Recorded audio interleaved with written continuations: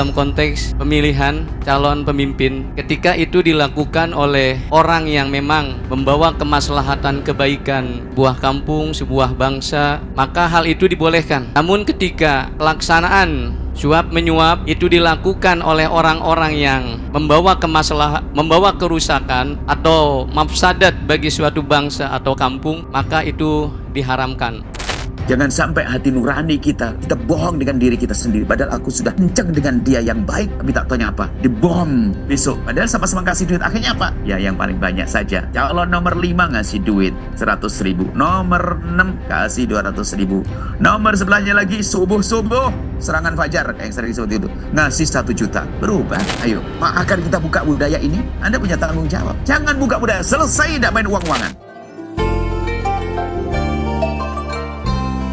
Bismillahirrahmanirrahim. Assalamualaikum warahmatullahi wabarakatuh. Assalamualaikum warahmatullahi wabarakatuh. Allahumma sholli ala Sayyidina Muhammad wa ala ali Sayyidina Muhammad. Semoga Buya dan keluarga serta jamaah yang hadir pada pagi hari ini dipanjangkan umur, dimudahkan segala urusannya, dan diberikan rezeki yang penuh berkah. Afwan Buya izin bertanya. Baru saja kami mendengar bahwa ketika orang yang melakukan arrosi wal murtasi finnar dalam kontes atau dalam konteks pemilihan calon pemimpin ketika itu dilakukan oleh orang yang memang membawa kemaslahatan kebaikan sebuah kampung, sebuah bangsa, maka hal itu dibolehkan.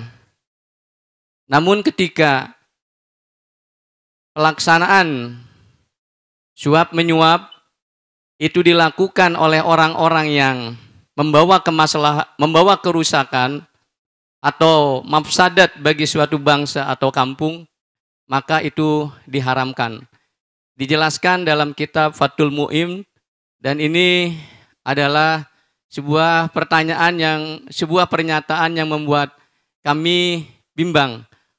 Mohon arahannya Buya terhadap masalah ini. Terima kasih. Assalamualaikum warahmatullahi wabarakatuh. Waalaikumsalam warahmatullahi wabarakatuh.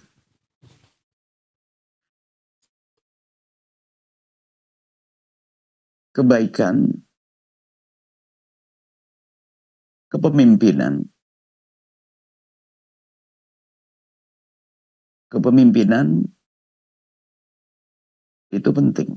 Sehingga di dalam Islam itu sendiri, sebuah kewajiban untuk mengangkat seorang pemimpin. Dan disepakati oleh para imam. Bahwasanya dalam sebuah perkumpulan hendaknya ada pemimpinnya. Kalau tidak ada pemimpinnya, maka akan berantakan. Perang parekrek itu kan karena nggak ada pemimpin. Perang saudara, perang keluarga, ada pemimpin.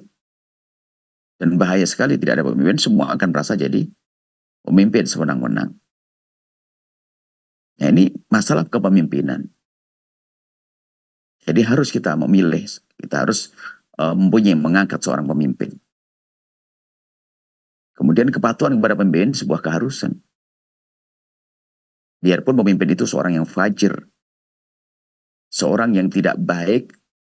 Kita perlu patuh selagi patuhnya bukan melanggar Allah. Jangan karena pemimpinnya nggak benar, lalu kita melanggar semuanya enggak. Selagi itu tidak melanggar Allah, wajib kita patuh. Tapi kalau kita disuruh patuh kepadanya dalam kemaksiatan la ta'ata li makhlukin fi maksiatil khaliq. Tidak ada kepatuhan kepada makhluk untuk melanggar Allah Subhanahu wa taala. Nah, kemudian di dalam memilih seorang pemimpin apakah boleh seorang pemimpin yang benar kemudian dia membayar memberi uang kepada manusia untuk memilihnya. Karena dia merasa bahwasanya dirinya adalah benar. Dirinya adalah benar. Semua calon pemimpin tentu merasa dia adalah benar. Atau paling tidak merasa dirinya baik. Atau bahkan ingin membuat perubahan. Hanya mungkin wawasan ilmunya saja yang berbeda-beda sehingga sehingga caranya pun juga berbeda-beda. Di dalam ingin membuat perubahan, menjaga negeri ini, semuanya punya punya tujuan untuk membangun negeri ini. Kemudian menilai, ini kan permasalahan kita dalam menilai ya. Orang kita sebagai rakyat mohon maaf, di negeri ini kan ada pemilihan umum. Semua dari rakyat itu di saat dia mendukung calon pemimpin yang tiga itu di hari ini. Itu yang punya maksud tidak baik, tidak banyak kok. Yang punya maksud tidak baik adalah orang yang gila kekuasaan, gila Gila tahta kita jabatan. Rakyat itu, itu tanpa pamrih ya. Dia memilih, membela calon pemimpin salah satu dari tiga itu adalah membela mati-matian. Dia tidak ngerti. Dia bukan ingin dia menjadi diangkat menjadi DPR, menjadi diangkat menjadi menteri, nggak ada. Jadi rakyat itu, kalau mohon maaf ini ada tiga ya di tempat kita negeri tiga tempat atau lima itu, itu salah satu mendukung paslon nomor berapa, itu mereka serius dan tulus. Dan dia tidak mengerti banyak tentang ketidakbaikan orang tersebut. Yang ia ketahui adalah menurut informasi tim tertentu bahwa ini orang baik diinformasikan dengan kebaikan. Sehingga mereka orang awam itu meyakini betul bahwasanya ini yang terbaik. Ini yang terbaik menurutnya. Kemudian kalau budaya memberi, memberi, akhirnya ini budaya menjadikan seseorang menjadi menjadi munafik. Misalnya, di hati saya sebagai seorang awam percaya bahasanya yang terbaik adalah pasangan calon 05. Coba. Cuman karena budaya menyebar membagi-bagi duit ini adalah ada tak taunya yang calon kosong nomor lima yang menurut saya sebagai orang yang paling baik tidak ngasih duit ke saya. Coba. Yang ngasih kosong nomor enam. Maka dengan saya diberi uang dan sebagainya, terbeli hati saya. Sehingga saya akan melawan hati nurani saya. Sebetulnya saya seharusnya memilih 05. Cuman karena saya tidak setelah dikasih duit oleh kosong nomor 6, saya berubah menjadi milik kosong nomor 6. Nah, sementara yang kita perlukan kita ini biasa jujur dengan nurani kita kok batin kita. Bukan menjadi orang munafik. Kalau seandainya calon Anda, eh hamba Allah, Anda, Anda ini. Selagi menurut pengetahuan Anda adalah dia baik. Menurut pengetahuan Anda adalah baik. Tidak ada kepentingan pribadi Anda, pondok Anda, masjid Anda bukan karena mau dijanjikan.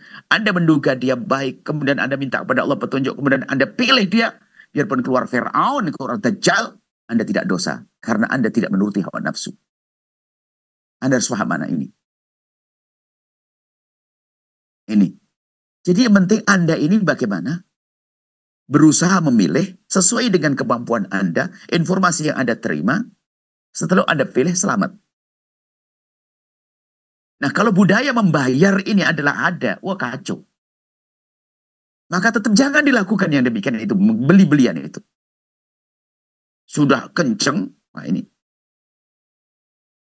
Kalau Anda berikan kesempatan, yang baik boleh.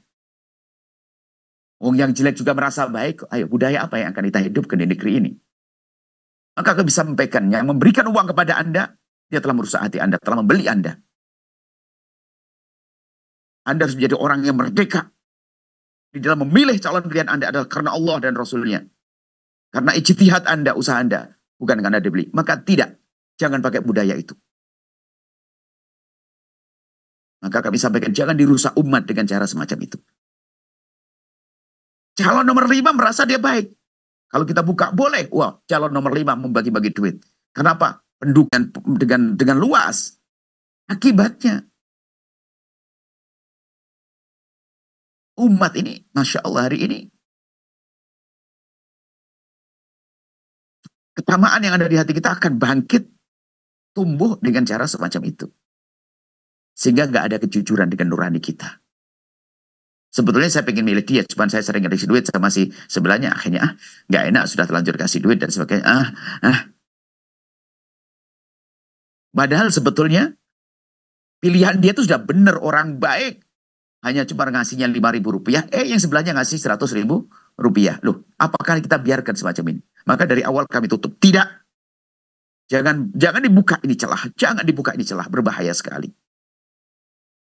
Kalau Anda buka celah, Hah? Berarti Anda membuka celah ketidakbaikan di sana juga. Jadi Muhammad Tek, para ulama ahli fikih, ini harus jelas melihatnya. Bukan hanya dari sisi tek, kemudian kita baca, lalu kita hadirkan. Tidak. Kita lihat madurotnya. Itu yang tidak baik bisa jadi punya duit lebih banyak lagi. Ayo, akan kita budayakan. Budaya bayar membayar semacam ini. Wah, ada kacau balau.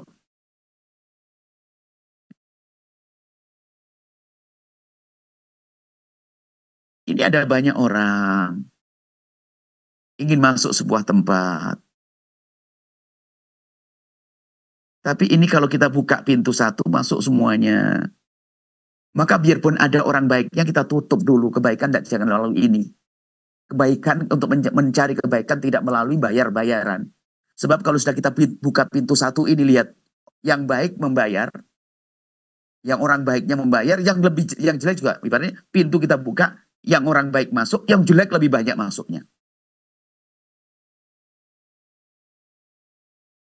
Maka yang kami hadirkan selama ini apa di dalam urusan pemilihan umum? Yang disepakati. Sanjung calon pilihanmu sesuka hatimu, jangan caci calon pilihan orang lain. Kalau Anda dengan akhlak mulia, itu telah membeli hati dahsyat. Bahkan kalau kita tutup, jangan pakai uang-uangan. Sudah selesai, awas. Yang membayar kepada Anda jangan Anda pilih. Bahaya itu. Karena takut Anda memilihnya karena terbeli hati Anda. Bukan?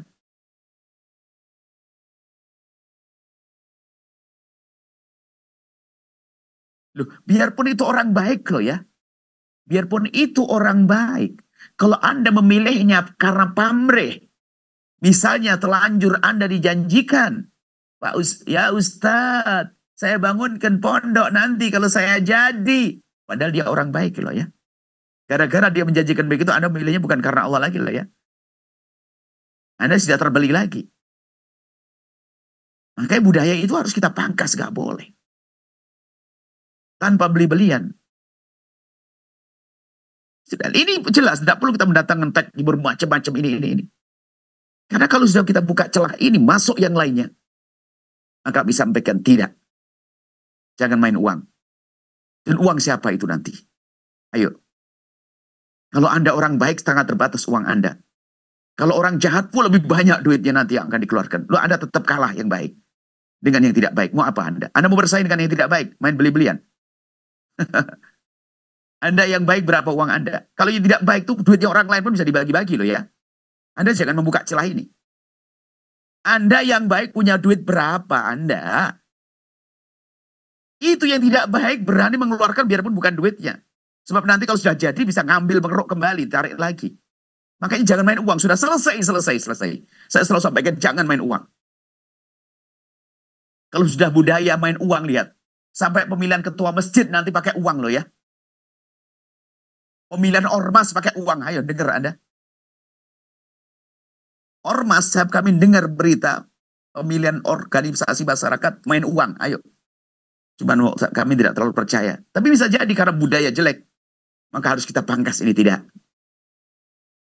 Maka Anda harus Anda harus berarti berkata, Anda kalau baik akan saya pilih biarpun tidak kasih duit ke saya. Nggak perlu Anda bangunkan pondok saya. Nggak perlu Anda nyumbang ke pondok saya. Nggak perlu, nggak perlu, nggak perlu. Hai hamba Allah. Hei calon-calon. Nggak perlu. Tapi cukup Anda baik pasti ada saya pilih. Selesai. Itu saja.